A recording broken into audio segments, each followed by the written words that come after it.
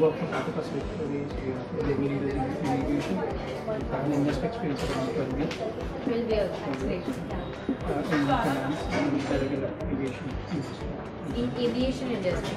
Okay, so what were your part in aviation? Uh, I currently work with the finance team. We handle accounts payables for uh, India uh, and also the tax benefits, the the.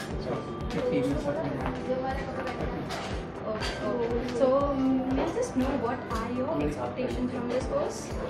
Like- I, well, I was willing to look at it from point of view of uh, getting something it, from the point of view of uh, transforming from, from what I'm doing and uh, also you know, to understand what the nitty-gritties of the information markets. So that's what this thing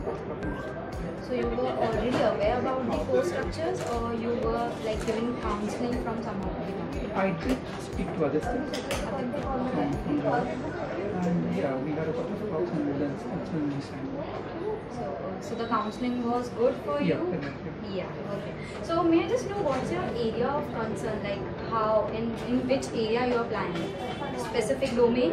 Uh, not quite, uh, not a specific domain, but the entire financial markets. Like I said, I don't know anything about the financial markets, so just for the platform. So you were not aware about it, but just just switch your domain. Okay, okay, okay. Cool, cool. Thank you so much. Thank you.